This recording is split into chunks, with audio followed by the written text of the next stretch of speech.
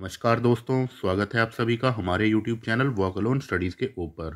तो दोस्तों, आज हिमाचल प्रदेश कर्मचारी चयन आयोग के द्वारा post code J O A I T आठ सौ सतारह के रिगार्डिंग बहुत ही महत्वपूर्ण नोटिफिकेशन निकाली गई है, जो कि टाइपिंग टेस्ट के ऊपर जो स्टे लगा हुआ था, वो हट चुका है और ये अब जो टाइपिंग टेस्ट है, वो शुरू हो गया था, जो रिमेनिंग कैंडिडेट्स हैं उनका।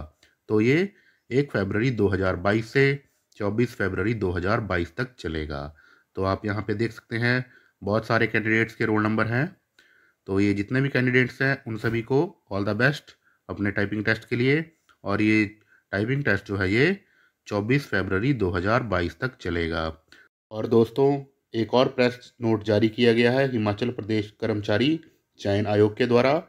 इसमें कहा गया है कि दिनांक 18 एक 2022 को जारी प्रेस नोट के क्रम के जारी रखते हुए निम्नलिखित सारणी के अनुसार, भर्ती एवं पदोन्नति नियमों में वर्णित वांछित योग्यता के अनुसार पंद्रह अंकों का मूल्यांकन प्रक्रिया आयोजित की जा रही है। तो आप यहाँ पे देख सकते हैं serial number name of post and post code date earlier fixed new date और वेन्यू तो junior office junior officer supervisory P and A ये पोस्ट कोड है सात सौ सतासी।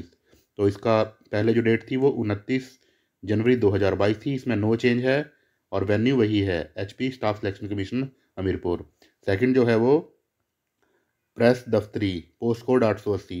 इसमें जो पहले डेट थी, वो थी सतारह फैब सतारह जनवरी 2022 जिसे चेंज करके अब पाँच फरवरी 2022 कर दिया गया है।